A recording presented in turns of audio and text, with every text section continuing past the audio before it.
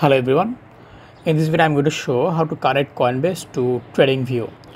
So first of all you need to open TradingView and log in or sign up and then navigate to the chart. So once logged in navigate to the chart where you want to view Coinbase data.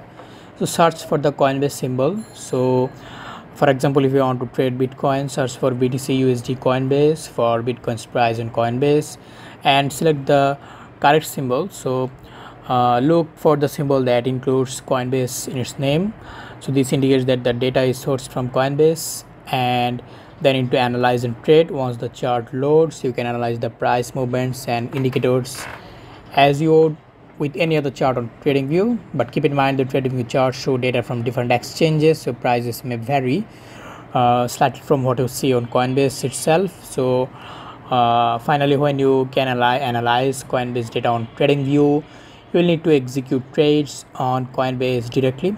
So keep TradingView open for analysis and when you're ready to make a trade, log into your Coinbase account to place the order.